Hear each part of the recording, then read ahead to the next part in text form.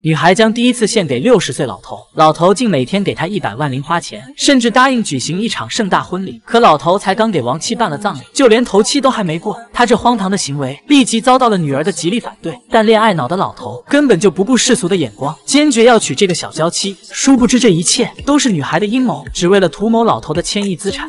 就在不久前，老头的妻子心脏病发作，父女俩急忙将人送往医院救治。可在着急等待结果时，老头却被小护士的美貌吸引。安雅竟秒懂对方的歪心思，她也认出了老头富豪的身份，心中顿时有了一个大胆的想法。安雅立即找同事换成了夜班，趁深夜医院无人，溜进富豪妻子的病房，拔掉了他的氧气管，亲手将对方送去见阎王爷了。而安雅仅仅用了几天的时间，就让老头彻底爱上了自己，甚至答应要娶她为妻。老头果然没让她久等，两人很快就举办了一场盛大婚礼。有了小娇妻的陪伴，老头吃得好，睡得香，每天都充满了活力，简直像年轻了几十岁。他觉得自己遇上了真爱。唯一遗憾的是，女儿怎么都不肯接受他的小娇妻。安雅为了缓解和妓女的关系，主动约对方出来私聊，可他却瞎编了一个爱情故事。竟然谎称自己无意间看见刚失去妻子的老头蹲在路边失声痛哭，他觉得老头是有情有义的人，值得他托付终身。两人便正式走在了一起。安雅声情并茂的述说着，单纯的小美竟然相信了，两人的关系也稍有缓和。可就在这天，小美帮父亲返回豪宅拿文件，竟看见继母打扮的妖艳动人，上了一个陌生男人的车，她才意识到这个继母肯定没表面那么简单。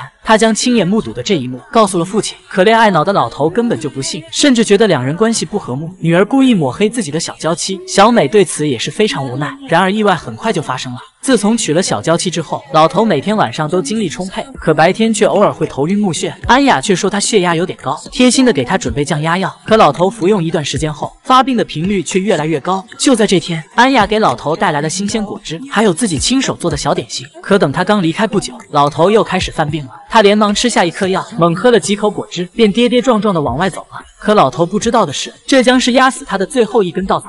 这天晚上，老头彻夜未归，女儿小美着急万分，到处找人，还带着继母跑去警局报案。可警方却表示，失踪人员不够二十四小时，根本就没办法立案调查。与此同时，一名清洁工人在公园打扫卫生，他突然看见坐在椅子上的老头，可无论怎么呼喊，老头都没有反应。大妈上去拍了几下，没曾想老头就这么倒了下去，吓得大妈急忙拿手机报警了。从停尸间出来后，小美顿时控制不住情绪，扑在朋友的怀里放声痛哭。她回到家，将父亲去世的消息告诉了继母，可安雅却松了一口气，她竟然偷偷跑去餐厅，点了一支价值百万的名酒，和一个神秘男人庆祝了起来。不出意外的话，她很快就能坐拥千亿资产，成为最有钱的富婆。